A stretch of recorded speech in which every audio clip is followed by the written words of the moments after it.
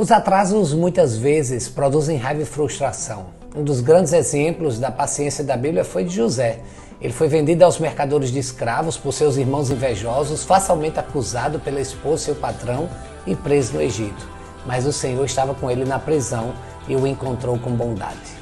Anos mais tarde, quando José interpretou os sonhos de Faraó, ele tornou-se o segundo no comando do Egito. O fruto mais notável de sua paciência ocorreu quando seus irmãos vieram comprar grãos durante um tempo de fome.